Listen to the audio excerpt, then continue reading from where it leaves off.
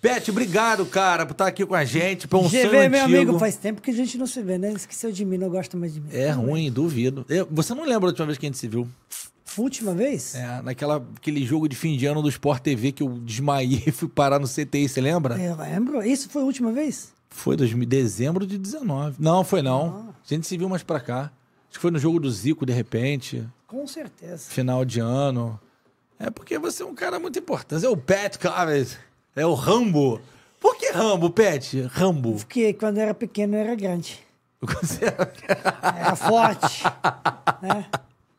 Lá naquela cidadezinha que era um vulcão. Não, o desenvolvimento meu foi precoce, né? É mesmo, Com, pai? com 14 anos, 13 anos, 14 anos, já que eu era desse tamanho. Nossa, e de uma bola ali, de bolacha, né? Mas era, era da mesma altura, né? Sei. Fortinho, mas era magrinho. Agora eu tô que nem, que nem Nicolas, quase. Que nem Nicolas, né? Nicolas tá Com parecendo um tanto açúcar palmito. ainda me traz açúcar. É, Nicolas tá igual um palmito, redondo e branco. Igual o nosso amigo Quimelo lá, que era o apelido dele. Ah, mas que meu era magrinho. Era magrinho, é um palmitão. Palmitão. Olha aqui, mas aí esse apelido é lá da sua. Da, da, lá da Lá, época- lá, lá da época quando, quando tinha 14 anos. Ainda era Iugoslávia, né? Meu apelido, né, na minha infância é di- diferente. É Schmeck.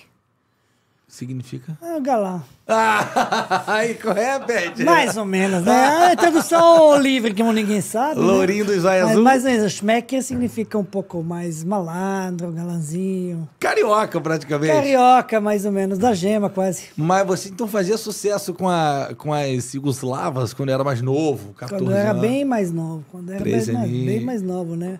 Isso porque a Quando- cidade só tinha 20 mil habitantes, né? 15. 15 mil? Tinha. Agora tem menos. Porra, por quê? Ah, todo mundo saiu, né? Vazou todo Vaza, mundo. quer ir conhecer o mundo, né? Isso na época, para contextualizar, né? É, da, na época da Iugoslávia. Em 1900, sei lá, vai fumaça. Lá atrás, Um milênio passado. Não vamos dizer nem século, milênio passado. no milênio, Dejan Petkov, conhecido como Rambo, porque era grande. Deixa eu desligar isso aqui. Bom, a partir de agora, só lá, tá? Só lá no. Só aqui, né? Na verdade, no YouTube, vou desligar aqui pra galera. O Pet já tá com a gente. Aí, Pet, vamos lá, vamos começar do começo. Você, molequinho, eu, eu escutei, aliás, adorei um beijo pro Charla, pro Betão, pro Cantarelli, foi muito legal. Você, molequinho, ia pra rua jogar bolinha de gude com a galera, pai chamando, mãe chamando, volta pra casa.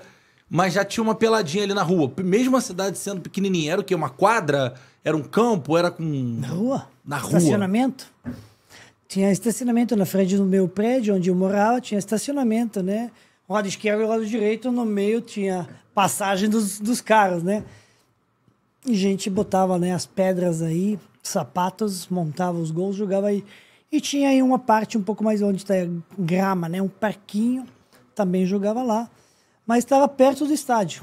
O estádio estava literalmente 200 metros de onde eu morava. Que era o time da cidade. Time da cidade. Time da cidade que chegou a ser segunda divisão. Chegou a ser segunda divisão. Mas você chegou a jogar nesse time? Não, segunda divisão não chegou a ser. Não, não, não. Quando eu era moleque. Estão falando quando eu tinha cinco anos. Nem era Rambo ainda. Oito anos, dez anos. É, aí tinha, tinha investimento, né? Trazia os jogadores, inclusive, é, bons jogadores que jogaram primeira divisão, jogadores que jogaram no Estrela Vermelha, que jogaram no Knish, onde eu joguei, Partizan. Conseguia, né? Porque a cidade praticamente vivia de, de minério, né? Isso é uma cidade de uma antiga está construída de uma antiga cratera de vulcano, né?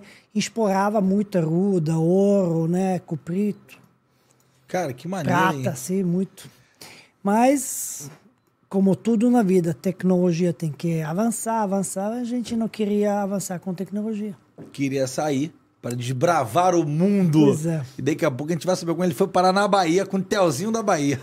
a história é boa pra caceta. Pescador.